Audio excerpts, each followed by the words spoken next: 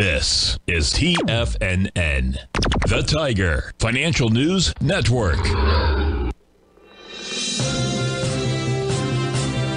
TFNN Headline News Update. Good morning, everyone. Basil Chapman here. Last day of the month of May, 31st, Wednesday. We're looking at the Dow down 221 at 32,824. It's really been the lag. It's, it's it consistently making lower highs and lower lows. And I will talk about that when I get back. This is not uh, leadership. This is the exact opposite. But you can't have the general failing and the uh, soldiers uh, le- actually uh, leading the pack with the uh, the QQQ, the SMHs, etc. So we'll get to this right away. S&P uh, is down 21, uh, down 0.51%. That Dow is down 0.68%, just making a possible peak D right here. This is where I'm becoming somewhat cautious on the market. I've been quite positive up until now in the general market, not the Dow per se. And now we're looking at the QQQ.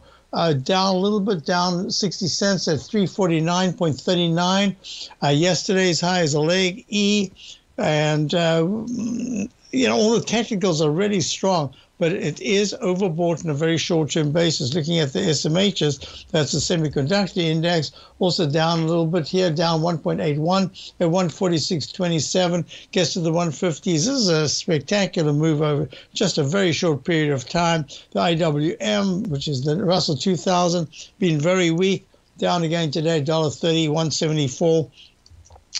We're going to be watching gold gold is trying to rally here. It's up five at 1981. I, I am suspecting that uh, gold is telling us that huge uh, institutions and countries are buying gold and they've been buying gold, and that this is just a general pause in the in the move to the upside. I, that's what I'm thinking, but the downside is not done yet.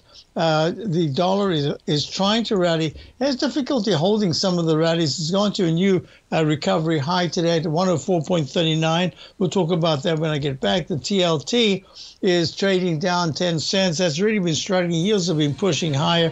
And crude oil, as I said before, crude oil really looks ugly and it looks even uglier today, down 91 cents.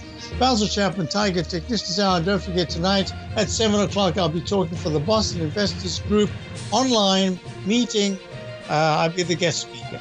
We'll talk about that when I get back here for the Tiger Technicians Hour. Check out my opening call, daily newsletter. Be back in a moment.